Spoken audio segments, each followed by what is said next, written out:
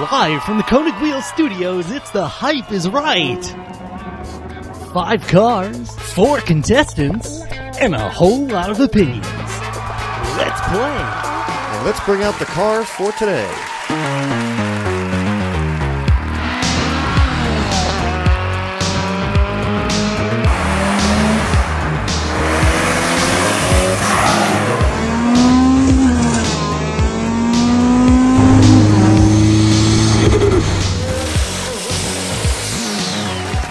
Contestants for today. Hey guys, my name is Levi Gates, and I am the brand development manager for the Rag Company. Hi guys, I'm uh, Hooman Rahimi. I'm a Formula Drift driver, and I'm here with Bill Murray. Dead. Oh, he got all of that one. Um, here to tell you if the hype is right. What's up, guys? It's Peter from Speed Academy here. Let's get started with the DC5 Integra Type R. The Integra Type R. The DC5 Integra Type R. This car, I actually really like, and I think it's just right. A lot of people love this car. I think it's a cool car. I certainly think that is underhyped. It is an underappreciated Type R. This thing's sick,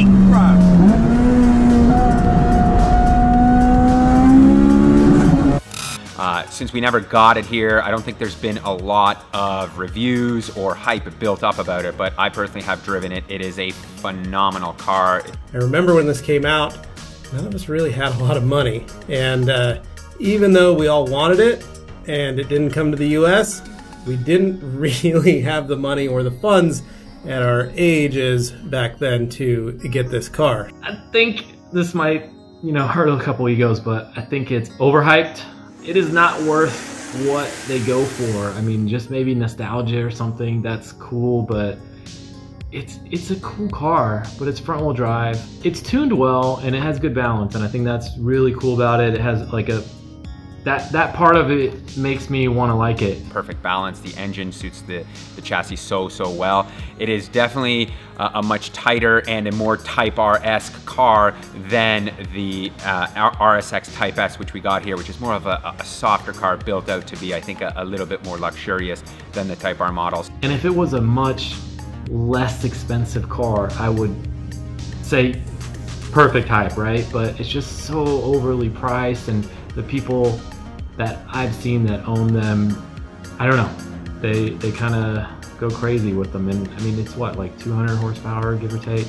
Think of it as a, a DC2 Type R, just more refined, a little bit heavier, but still an awesome car to drive. So This is one of those that I think everybody wanted it. It was just right the way it was. And if you can grab one of these today, lucky. No, I, I, I'm gonna say overhyped for sure.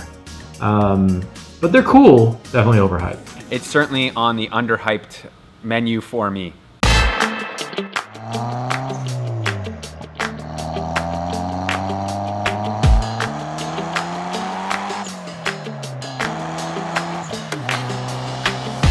SW20 MR2. The SW20 Toyota MR2. All right, so this is my favorite car.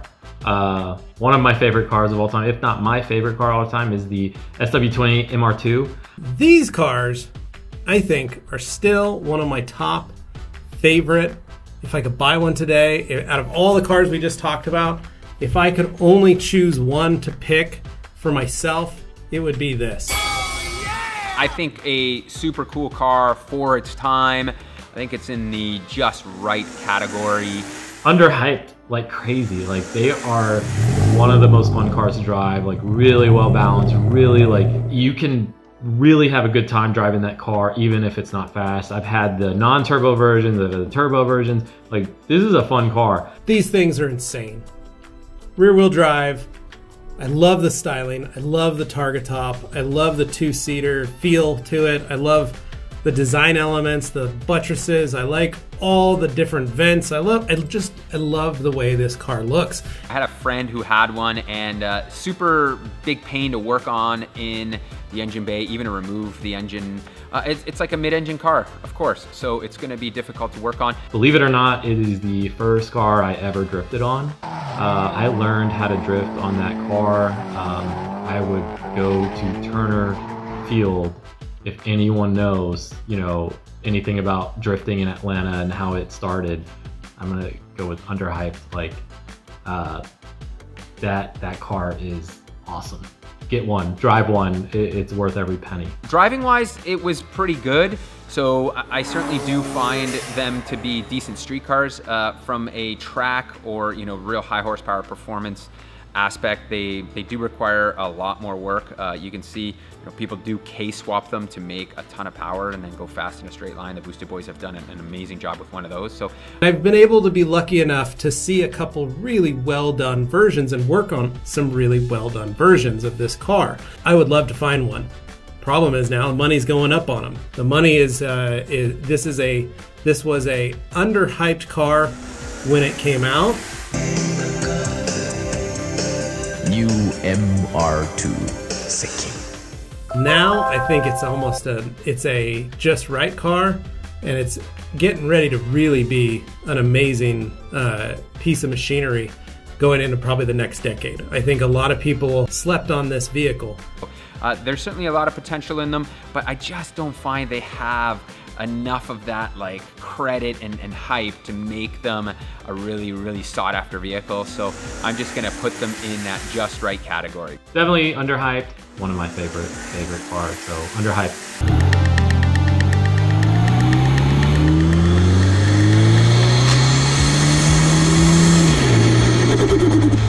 Eagle Talon TSI. Eagle Talon TSI.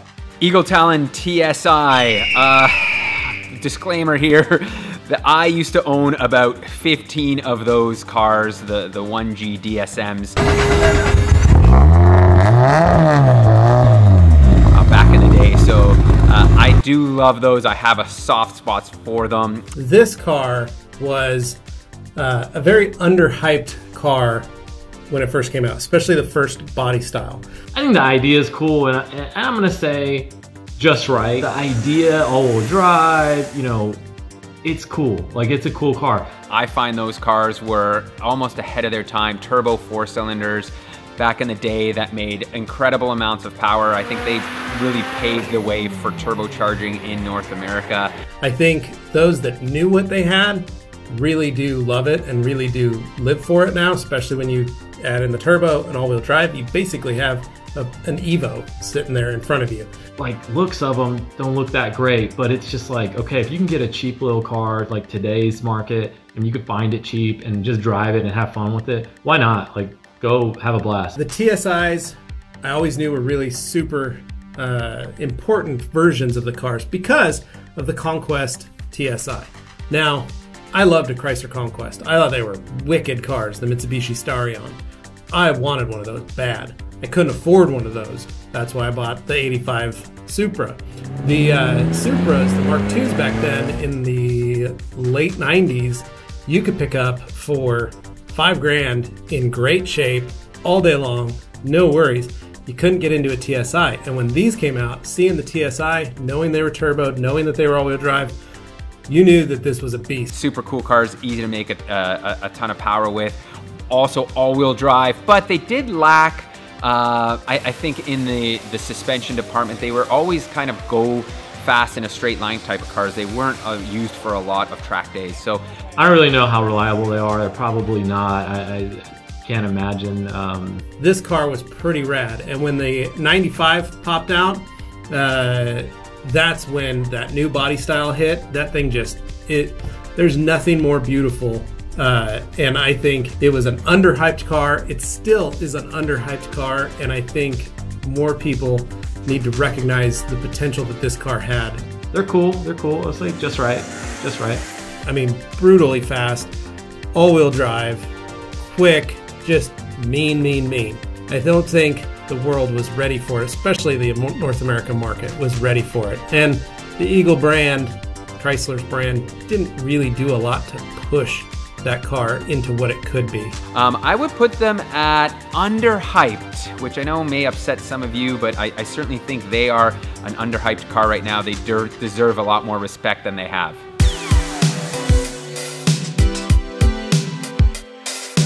The Honda Del Sol. The Honda Del Sol. The Del Sol.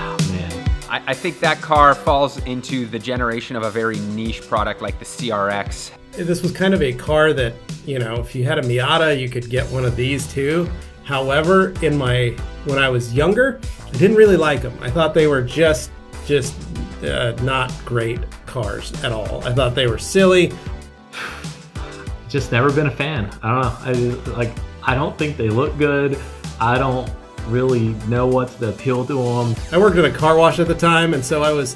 I remember seeing customers bring them in, and I got in. and I was like, "Who would buy one of these? This is this is just There's not a ton of people that loved it. Uh, the people that do are very fanatical about it. It's a decent chassis. You can certainly swap a ton of good motors into it and you know make good power. The window goes back. It, it goes down in the back, like so you can roll down the back window. That's kind of the the the most interesting thing about that car. However, in my old age, I look at these and go, "Ooh, I could see myself buying one of these. I could see myself cruising around in a little Honda Del Sol. I'm sure. Uh, I'm sure my buddy Anthony would have something to say about that. Would probably want me to get one. Uh, overhyped. Even if I don't think really people hype them up anymore. Maybe this the the still the the Civic people out there that still you know go after these old Civics and, and pay like I don't know. I've seen crazy like seven grand for a two hundred thousand mile Civic. They're hard to find, which I get. I mean, kinda. I don't really get it, but But for me, I, I wasn't never a T-top kind of convertible guy, so I, I- I don't love it. I think it's a just right kind of car. Now I look at these and I think at the time they were underhyped. I think they're still kind of underhyped because these things are really lightweight. Current motor swaps that you can do now, targa top, two seater, dope. Like this is it. I would I would I would jump on one of these in a heartbeat. Uh, no, they just didn't look as cool. Even when you like made them look cool, they still look like like a just not. No, no, nah. At the time, it was a very underhyped car. I think it still is a very underhyped car. And I think now, with all the import technology that we have for tuning and engine swaps and performance parts and everything, I think you can turn that Del Sol into an absolute rocket ship. And I think that car on its own is still very underhyped.